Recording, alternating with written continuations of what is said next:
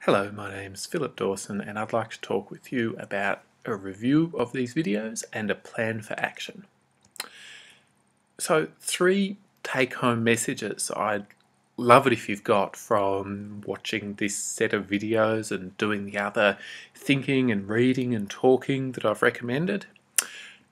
Well, when someone asks you, what do you learn in Phil's class? What do you say? I think these are the three, uh, some of the three key things. Firstly, you focus on what the student does.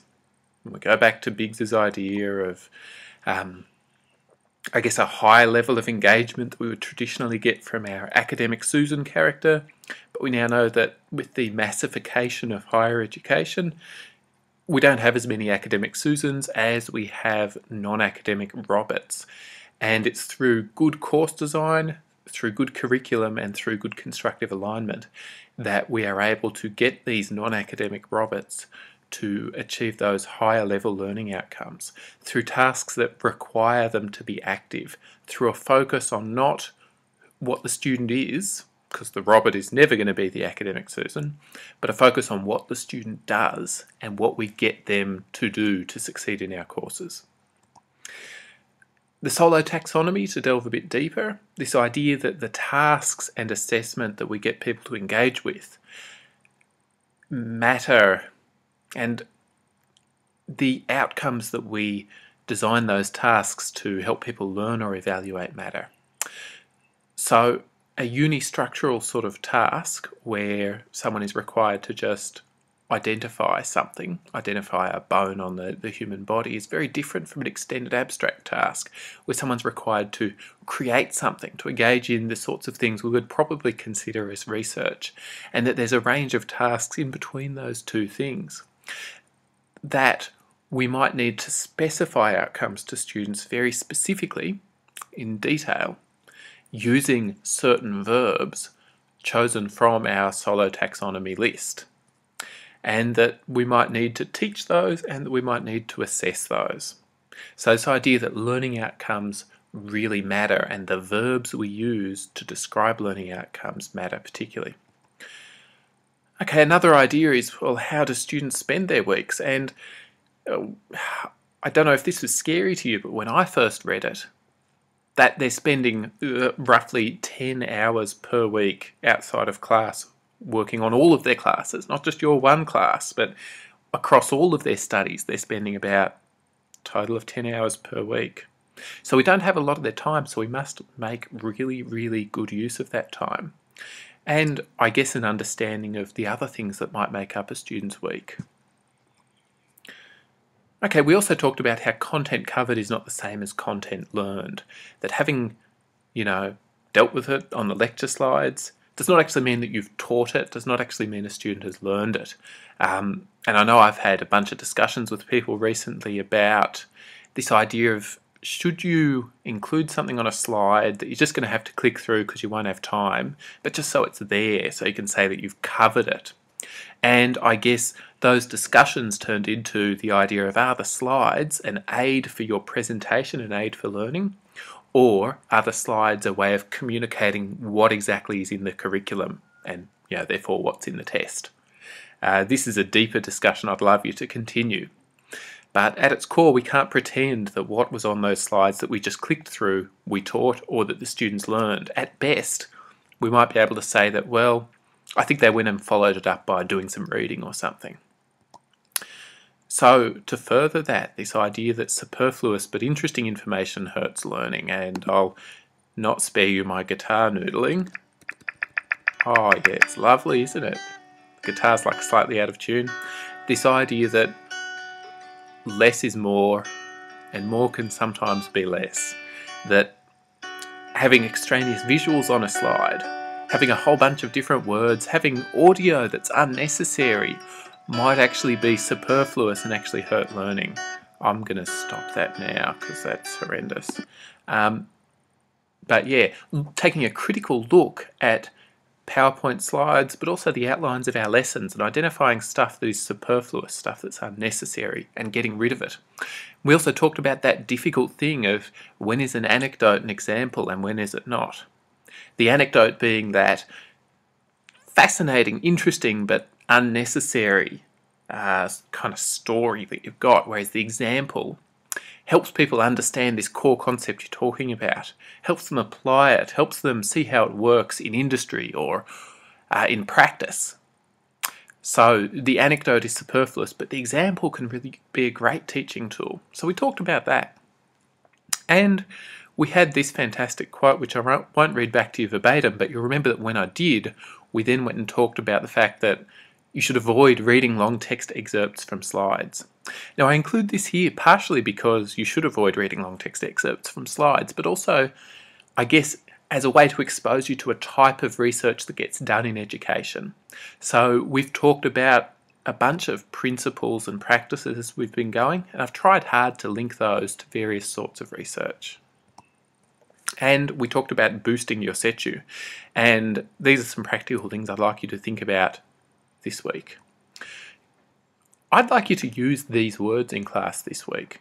Actually use the words learning objectives because if your students are going to evaluate you on how well your teaching helped them meet the course learning outcomes or learning objectives and you've never used that phrase they mightn't have connected the dots in their head similarly talk about how your class is intellectually stimulating how has it really made them think because at Monash, they're going to be asked to evaluate you on how intellectually stimulating your classes were.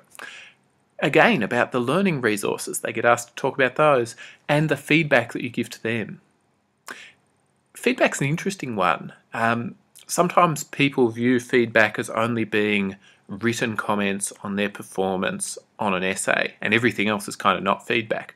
But as we've talked about before, feedback can come from a variety of sources peers, teachers, uh, automated feedback through like a multiple choice quiz that gives you the answers and feedback.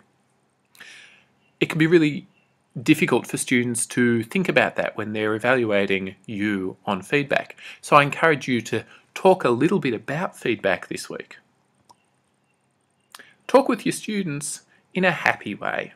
Show the happiness or fake the happiness, the enthusiasm, the excitement, the extroversion.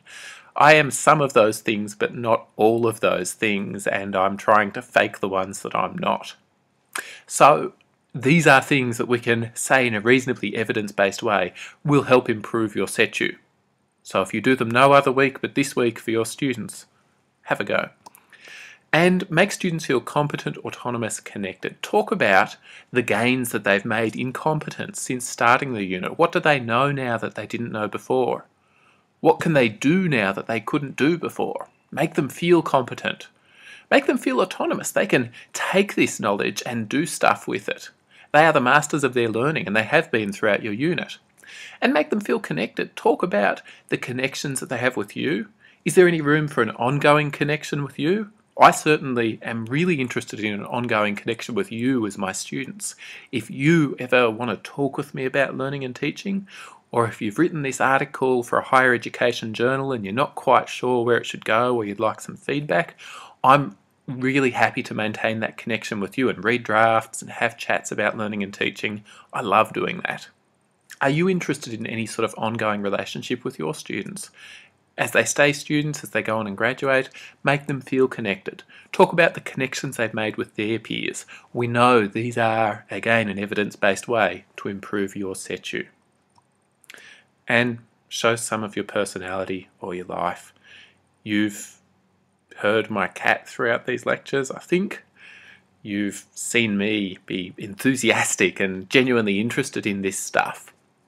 Maybe do some of that in this final lecture again as a cynical grab for the setu, but also because your students are genuinely interested in who you are. Now let's talk sustainable improvements to learning and teaching. I won't go on about this for too long, but I'd just like you to think, do you have a one, three or five year research plan?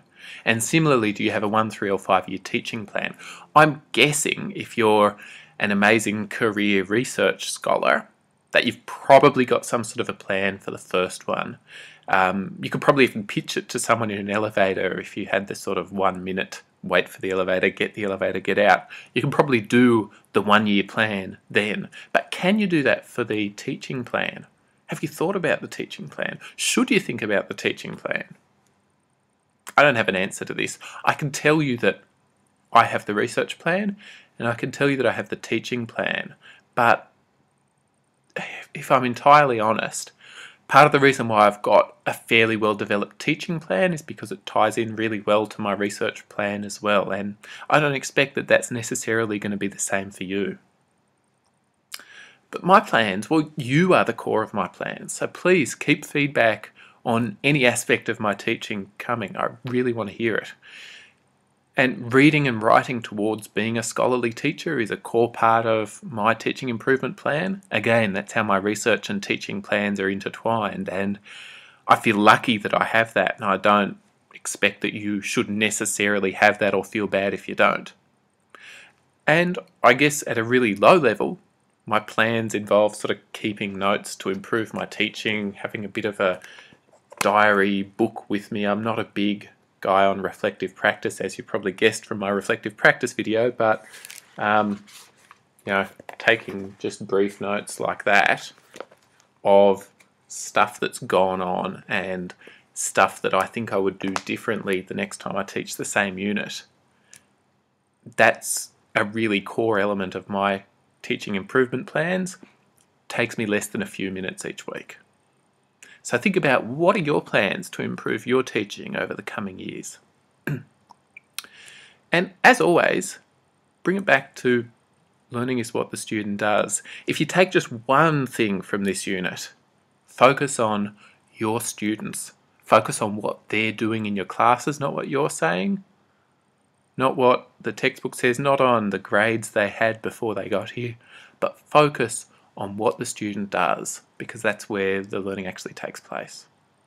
Thanks a lot, it's been a real pleasure talking with you through these videos and the many other ways.